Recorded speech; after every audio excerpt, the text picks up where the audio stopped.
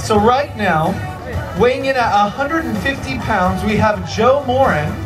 170, 170, all right. Mike Anderson weighing in at 200 pounds. Mike Quinn at a whopping 300. And finally, Jim Sorban at 150. All right, give or take. But also, 8,200 pounds is the gorgeous Asia.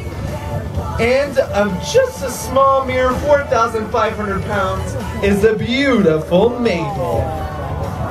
There's our girls looking beautiful and gorgeous. Hello, ladies.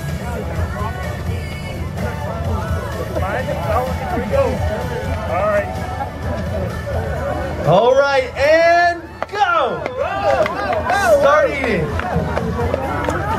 There they go. Our girls are ready for their donuts. Now, as you can see, some of our donuts on the elephant side, we have a little bit of bread. Ryan, why do we have some bread? That is their favorite treat, Tyler. Wow, that's awesome. They love bread.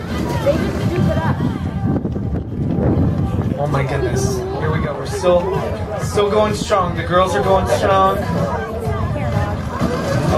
Officers are doing amazing. Whoa, they're like they're like they're like give me some of your donuts.